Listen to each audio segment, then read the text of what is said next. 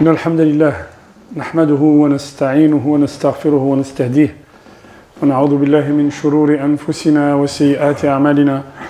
من يهده الله فهو المهتدي ومن يضلل فلن تجد له وليا مرشدا. وأشهد أن لا إله إلا الله وحده لا شريك له.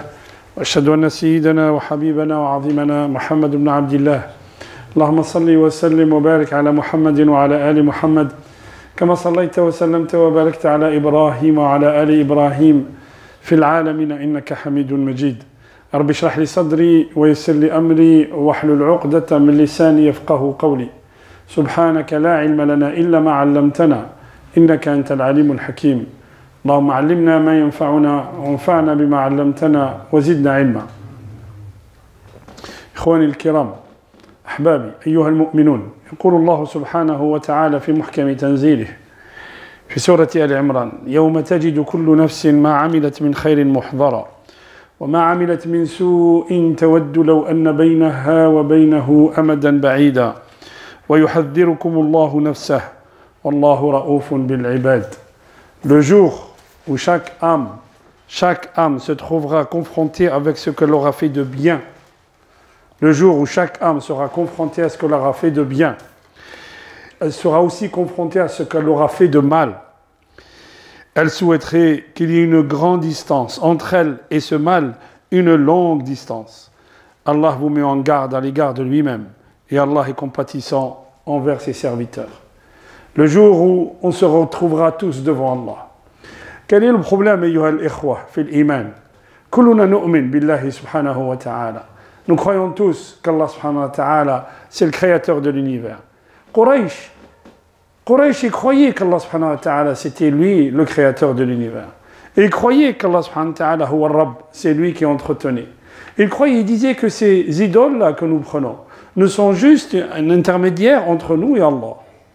Et il ne voulait pas que le prophète sallallahu alayhi wa sallam, il casse cette idolâtrie.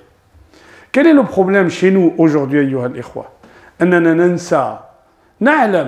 كل الناس يعلم tout le monde sait. Tout le monde sait que nous allons tous mourir. Mais ننسى on oublie اليوم الآخر on oublie يوم الحشر et Allah subhanahu wa ta'ala il nous rappelle في القران من كان يؤمن بالله واليوم الآخر في في ايات في ايات القرانيه كنت الله سبحانه وتعالى انه nous parle الحج واتقوا الله الذي اليه تحشرون كنت il في ايات الحج il parle الحشر Parce que quand on fait le hajj, c'est un exemple extraordinaire. Comme quoi Allah, comme il a rassemblé 2 ou 3 ou 4 millions en un seul instant, fait Arafat, Yom Arafat, il nous a tous rassemblés ce jour-là, il nous rassemblera le jour du jugement. Le jour du jugement, quand on sera tous devant Allah subhanahu wa ta'ala. Un jugement long, long, interminable. Et les gens sont fatigués. Et les gens, ils demandent juste que le jugement commence. Et c'est là où Rasul sallam, il va se prosterner devant Arsh al-Rahman. Shafa' al-Kubra, ça s'appelle. Il va se prosterner devant Arsh al-Rahman en demandant à Allah que le jugement commence. Et Allah subhanahu wa ta'ala, il nous dit يوم يفر المرء من أخيه وأمه وأبيه وصاحبته وبنيه لكل امرئ منهم يومئذ شأن يغنيه Allah subhanahu wa ta'ala nous dit le jour où l'homme s'enfuira de son frère, de sa mère et de son père. On se relèvera, yuhal ikhwa. On sera tous debout, dans une, dans une obscurité totale. Tous debout. On va reconnaître notre mère. Ça fait des, des milliers d'années qu'on ne l'a pas vue. On va reconnaître notre frère. On va reconnaître nos enfants. On va reconnaître notre compagne. Mais on s'enfuira de tout ça comme si on ne les avait jamais connus.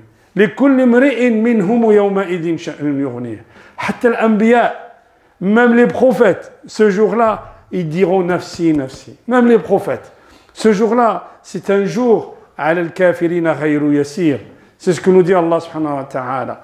On oublie souvent, ayyuha al-ikhwa, al-kafir, celui qui ne croyait pas, ou celui qui ne croit pas, ceux qui passaient devant devant, devant les tribus qui ont été anéanties par Allah subhanahu wa ta'ala. Quraysh, il faisait le voyage jusqu'à Sham.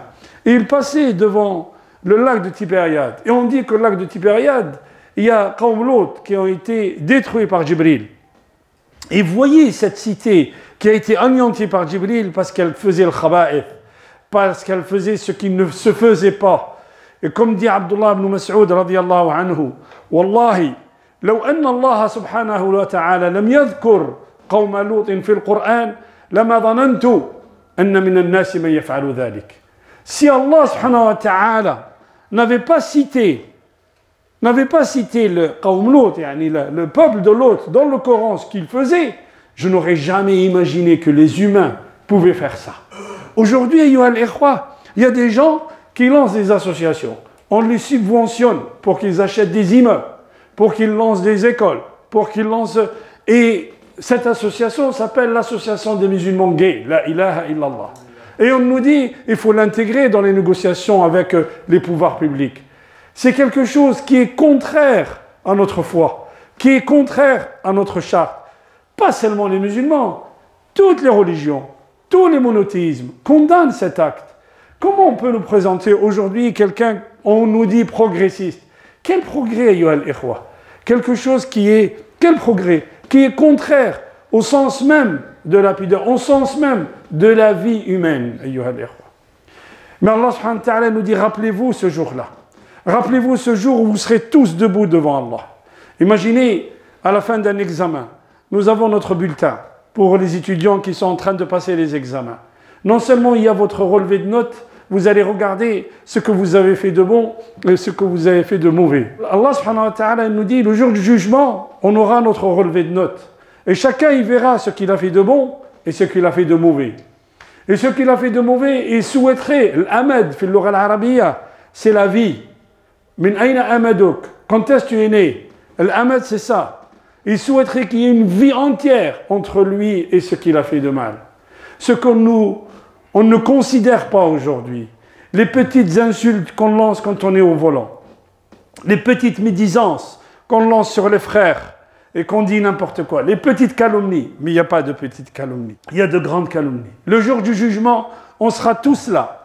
وقالوا ما لهذا الكتاب لا يغادر صغيرة ولا كبيرة إلا أحصاها وجدوا ما عملوا حاضرا ولا يظلم ربك أحدا في هذا السياق أيها الإخوة أذكر لكم قصة ذكرها صاحب معاني الأدب Il dit, à Bagdad, il y avait, il y avait un commerçant qui avait un seul enfant. Il y avait un commerçant qui avait un seul enfant. Il voulait l'envoyer pour apprendre à commercer, pour apprendre à tijara, faire du commerce. Mais généralement, les grands commerçants, ils n'apprennent pas à leurs enfants dans leur propre structure. Généralement, l'enfant, s'il voulait qu'il apprenne, envoyez-le ailleurs. Pourquoi? Parce que toi en tant que père, allez, non, dors un peu, c'est pas grave, te lève pas aujourd'hui. Non, non, non, non. Faut l'envoyer là où il verra ce que c'est l'endurance et ce que c'est l'adversité et ce que c'est un sabr. faut l'envoyer. Donc il lui a acheté on disait, on lui a acheté un bateau et l'a envoyé en mer pour qu'il aille dans des contrées lointaines acheter et revenir jusqu'à Bagdad. Il prend le bateau, ce, jeune homme, il prend le bateau. Et pendant neuf jours, le bateau, il circule, il est en mer, tranquille, ça va bien, il n'y a pas de tempête, il n'y a rien. Au bout de neuf jours, au bout de neuf jours, il y a une tempête terrible qui va subir, que va subir le bateau. Et finalement, le bateau va se casser tout le monde va être anéanti, tout le monde va, couler, et lui, il va s'attacher à une branche et il va être amené jusqu'à jusqu'à une île déserte. Il arrive à cette île, d'abord, il était complètement évanoui. Et quand il se réveille, il entend un bruissement qui vient d'ailleurs, un bruissement qui vient de loin. Il entend des gens qui sont festifs et qui viennent le chercher. Une fois qu'ils viennent le chercher, ils vont l'habiller, ils vont le laver, l'habiller, le décorer, et ils le mettent, ils le mettent sur le trône et disent Tu es notre roi. Ils le mettent sur le trône et ils lui donnent tout ce qu'il y a à manger, tout ce qu'il y a à boire. Et il est tout content, mais il ne comprend pas. Qu'est-ce qui se passe? Il voit que dans l'assistance, il y a des gens autour de lui qui sont très contents. Mais il voit un vieil homme qui est dans l'assistance, mais qui est, reculé. Quand la fête est finie, tout le monde s'en va. Et il prend le vieil homme et lui dit, j'ai besoin de toi. J'ai besoin que tu m'expliques ce qui se passe. Et il dit, dans cette île, il dit, ok, puisque tu m'as demandé conseil, je vais te donner des conseils. Mais laisse les gens partir. Quand tout le monde est parti, il demande au vieux, qu'est-ce qui se passe? Dis-moi ce qui se passe. Je ne comprends plus rien. Je viens de loin, le bateau a coulé, je me retrouve ici et finalement vous faites de moi un roi. Qu'est-ce qui se passe? Il lui dit, dans cette île, chaque année, chaque année, le roi, il est élu pour trois ans. On prend un roi, généralement quelque chose, quelqu'un qui a été jeté par la mer. On le prend, on en fait roi. Il reste trois ans.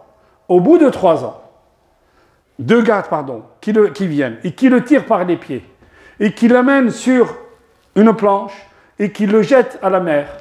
Il le jette dans une île lointaine. Et dans cette île lointaine, qu'est-ce qui va se passer? Il va mourir là-bas, sabran. Qu'est-ce que ça veut dire sabran? Il va mourir de faim et de soif.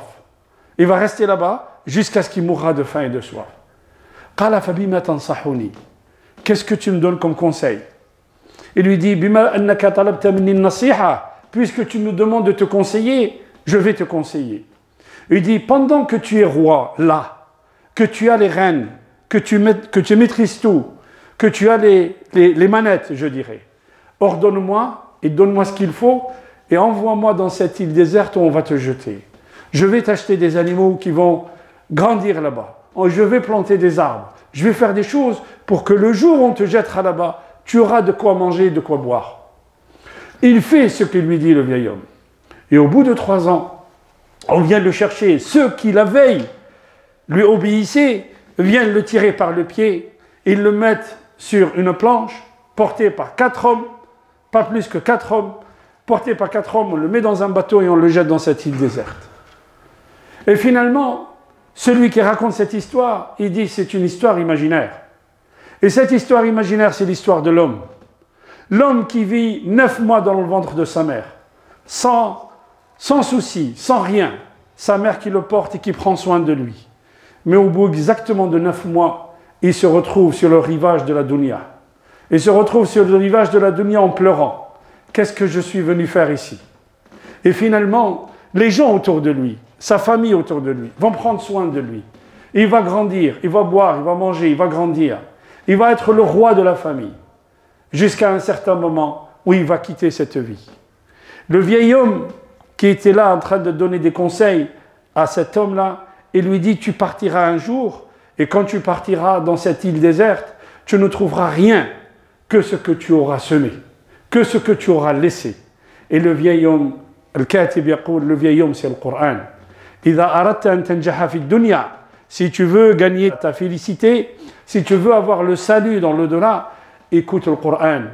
Al-Qur'an ma. Le Coran, il te dit, si tu prépares ta vie dans l'au-delà, si tu prépares aujourd'hui ta vie dans l'au-delà, parce que dunya, لن تنال منها شيئا والله لو كانت الدنيا تساوي جناح بعوضة عند الله ما سقى الكافر منها جرعة ماء si la dunya elle valait un aileron d'une puce chez Allah subhanahu wa ta'ala il n'aurait pas abreuvé celui qui est ingrat envers Allah. Parce que le kafir, c'est seulement de l'ingratitude, ayyuhal ikhwa. Il n'aura pas, il pas donné une gorgée d'eau à cet homme-là. Et là, on comprend, ayyuhal ikhwa, le comportement des compagnons. Les compagnons avaient tellement compris que cette dunya ne valait rien, comme disait le prophète sallallahu alayhi wa sallam. Le jour où Omar al-Khattab, monte le voir, le jour où le prophète sallallahu alayhi wa sallam, il a ce souci avec ses épouses. Et il décide, il décide de s'épargner, de rester avec ses épouses, parce que les épouses du prophète, elles trouvaient que la vie ici-bas était très dure, la vie du prophète. Le prophète Aïcha, elle disait, pendant un mois, on pouvait passer le mois sans allumer un feu à la maison. Et on lui disait, de quoi vous viviez alors Si vous n'allumez pas de feu, vous ne faisiez pas de soupe, de quoi vous viviez? On vivait, les deux noirs l'eau. Et daqal, c'est, comment dire, c'est des dates, mais de, de moindre qualité. Il vivait de ça, le prophète sallam. Pendant un mois, on n'allumait pas le feu chez lui, le prophète sallam. Et le prophète, al-Khattab, il monte sur la mezzanine, il voit le prophète assis sur une natte qui a, qui a laissé les traces sur son cou. Il dit, à Rasulallah, si on t'achète un, un lit douillet, si on t'achète ne serait-ce qu'un matelas, Ya Rasulallah, regarde les gens de Force, les gens de Rome, les Byzantins et les Sassanides, comment ils vivent. قال رسول الله صلى الله عليه وسلم مالي وللدنيا مالي وللدنيا qu'est-ce que j'ai moi avec la dunya إنما أنا والدنيا كرحل ارتحل comme un voyageur Il faisait son voyage, il marchait, il cheminait, et il a vu un arbre, un arbre, un endroit ombragé. Il a fait sa sieste, il s'est levé, il est reparti. C'est ça, dunya, Et c'est comme ça que nous le montre le prophète sallallahu ibn Amir, ahad al-sahaba, fi al-Qadisiyya, quand les musulmans, ils arrivaient aux portes des Sassanides, en Irak, en Iran, aujourd'hui. Ils arrivent et les Sassanides, c'est une civilisation qui dure depuis mille ans. Qui dure depuis mille ans. Il y a Rostom, qui était le chef des armées en face. Il dit Qu'est-ce que vous êtes venu faire ici? Hein, vous, êtes, vous êtes des bédouins va-nu-pieds, qu'est-ce que vous êtes venu faire ici? Et tous les jours, Saad ibn Abi avant la bataille, lui a envoyé un négociateur. Puis un jour, il lui envoie quelqu'un qui s'appelle ibn Amir. Ibn Amir, il dit Mais qu'est-ce que vous êtes venu ici Attention, parce que là, vous êtes comme le renard qui rentre dans un poulailler. Un petit renard qui rentre dans un poulailler, si le chef du poulailler, si l'agriculteur qui élève ou l'éleveur qui élève les poules, il s'aperçoit que le renard est là pour manger les poules, il va vous tuer. Mais quand vous êtes petit, je vais vous laisser partir. Je vais vous pardonner, je vais vous laisser partir. Ne faites pas comme le, renard qui a trop mangé. À la fin, il ne pouvait pas sortir de sa grotte. Et donc là, vous allez subir les foudres des Sassanides, les foudres de Rostom. Vous savez ce qu'il lui dit, Rabbi ibn Amir Il lui dit جئنا لنخرج العباد من عبادة العباد إلى عبادة رب العباد وجئنا لنخرج الناس من جور الأديان إلى عدل الإسلام ومن ضيق الدنيا Nous sommes venus pour libérer les gens. De quoi De l'esclavage envers les hommes. Et nous sommes aujourd'hui dans l'esclavage envers les hommes. Nous sommes esclaves de la mode. Nous sommes esclaves de l'argent. Nous sommes esclaves de tout ça, Nous sommes esclaves du système.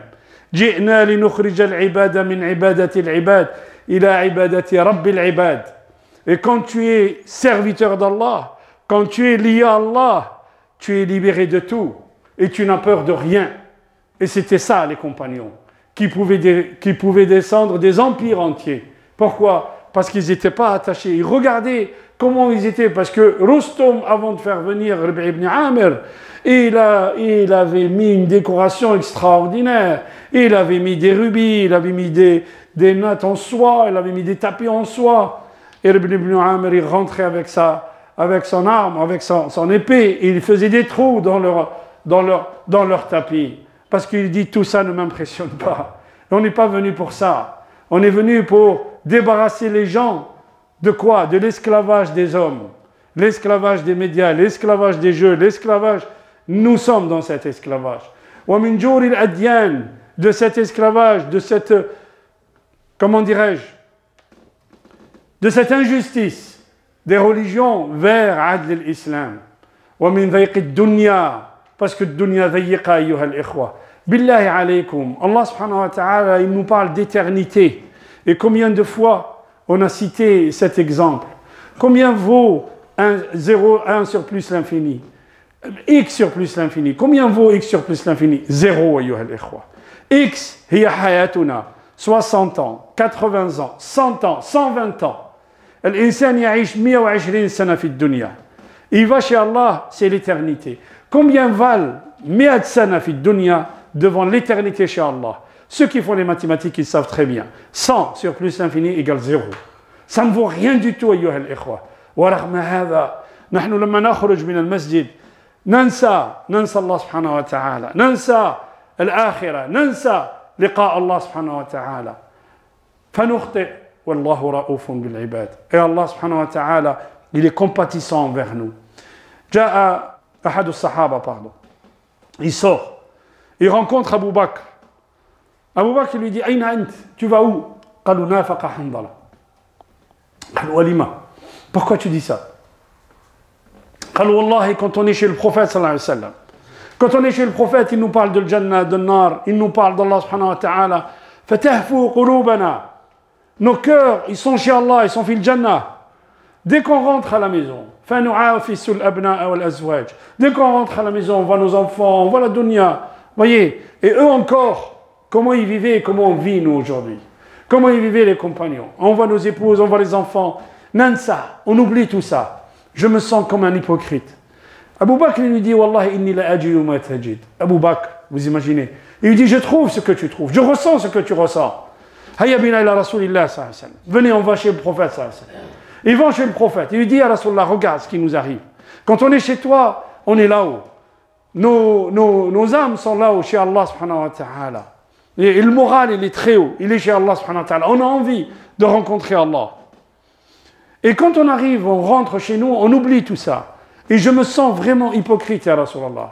Al-Rasul sallallahu alayhi wa sallam, il leur dit, Wallahi, لو بقيتم على ما أنتم فيه عندي si vous restez comme vous êtes chez moi, quand Allah Rasul il leur parle de Jannah, de Nar, de Yom al-Akhir, les anges descendraient pour vous féliciter, pour vous saluer sur les chemins. L'être humain, il est comme ça. Sauf que l'insan, yahdar al-ghafla, l'inattention, l'insouciance et l'oubli.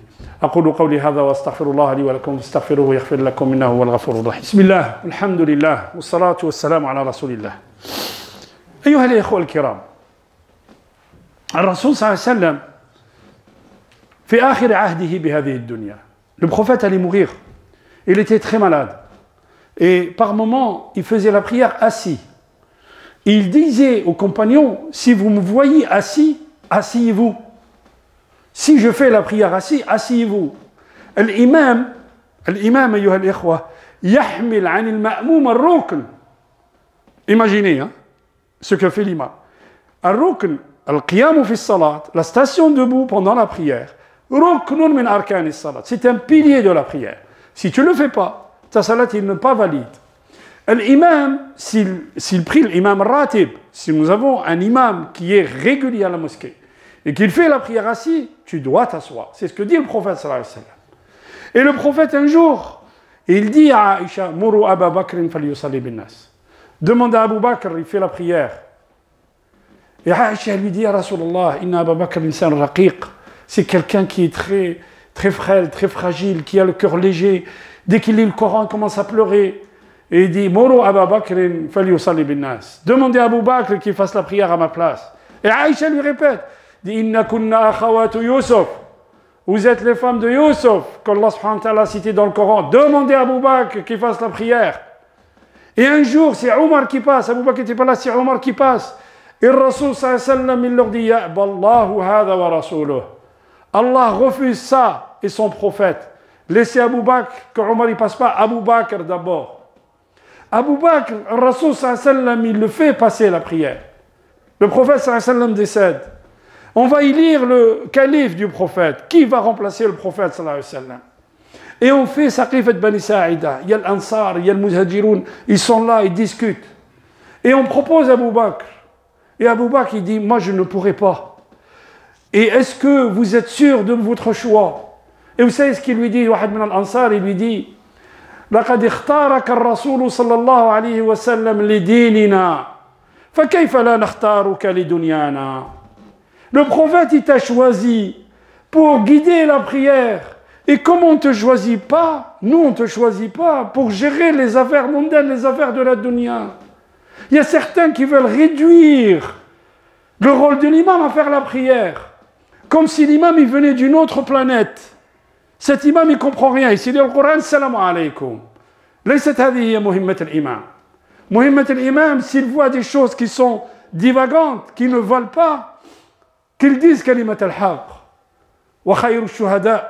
Rasul sallallahu nous dit le, le meilleur des martyrs c'est Hamza.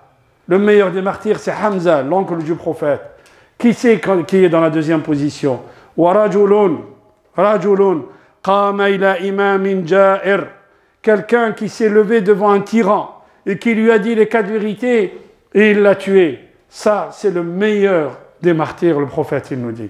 Et l'imam, il n'est pas là juste pour dire faire la prière et c'est tout. Non. L'imam, le mayar al l'imam, quand il voit quelque chose qui ne va pas, il doit le dire. Sinon, il est complice du mal. Aujourd'hui, il y a des frères qui sont venus des quartiers nord de Marseille, de la le quartier de la qui nous demandent de les aider parce qu'ils veulent finir leur mosquée. On va les aider, Inch'Allah. Sachez juste une chose. Quand, une association vient nous demander de les aider, on les aide, à la barakatillah. On aide tous les musulmans à travers toute la France et à travers le monde. Sauf qu'avant d'aider l'association, on regarde. Est-ce que les choses sont bien gérées? Est-ce qu'il n'y a pas quelqu'un qui est là, tyran depuis 30 ans, et qui vous dit C'est moi le chef et vous ne, demandez rien. Non, ça on ne l'acceptera pas. Ne serait-ce, même si cela se passe dans notre mosquée, on ne l'acceptera pas. On n'acceptera pas que quelqu'un tienne les musulmans, tienne les musulmans en otage. Abadan. Que ce soit ici ou ailleurs. Si une association, elle vient nous demander, on demande des comptes. Si les choses sont bien gérées, sont bien tenues, on leur fait un appel et on demande aux frères, aux fidèles de les aider. Parce que les fidèles, quand ils aident, quelqu'un qui donne un euro à Lyon, qui donne 5 euros à Marseille, qui donne 5 euros à Toulouse, Allah subhanahu wa ta'ala fi À chaque endroit où il a donné un euro, Allah subhanahu wa ta'ala lui écrit À chaque fois qu'il y a quelqu'un qui fait une prière dans cette mosquée, Allah il lui écrira jusqu'au jour du jugement. Pour les frères qui nous suivent à travers, à travers le net, on va mettre les liens, Inch'Allah. Mais aidez nos frères qui sont dans le 15e et qui ont beaucoup de mal à finir leur mosquée. Qu'Allah subhanahu wa ta'ala leur facilite. Et qu'Allah subhanahu wa ta'ala yaktubuna al-jannah. Allah subhanahu wa ta'ala yaktubuna al-jannah wa yaktubna mina الصحابة الكرام كم le courage des compagnons أيها الإخوة بارك الله فيكم أقول قولي هذا واستغفر الله لي ولكم واستغفروه يغفر لكم إنه هو الغفور الرحيم اللهم اهدنا فيمن هديت وعافنا فيمن عافيت وتولنا فيمن توليت وبارك لنا فيما أعطيت وقنا شر ما قضيت إنك تقضي ولا يقضى عليك إنه لا يذل من وليت ولا يعز من عاديت تباركت ربنا وتعاليت يا ذا الجلال والإكرام. اللهم اقسم لنا من خشيتك ما تحول به بيننا وبين معصيتك ومن الطاعات ما تبلغنا به جنتك ومن اليقين ما تهون به علينا مصائب الدنيا. ومتعنا اللهم بأسماعنا وأبصارنا وأبداننا أبدا ما حييتنا واجعله الوارث منا. واجعل ثأرنا على من ظلمنا. وانصرنا على من عادانا. ولا تجعل الدنيا أكبر همنا ولا مبلغ علمنا. واجعل الحياة زيادة لنا في كل خير. واجعل الموت راحة لنا من كل شر. عباد الله إن الله يأمر بالعدل والإحسان وإيتاء ذي القربى وينهى عن الفحشاء والمنكر والبغي يعظكم لعلكم تذكرون ولذكر الله أكبر. والله يعلم ما تصنعون. وقوموا إلى صلاتكم. بارك الله فيكم.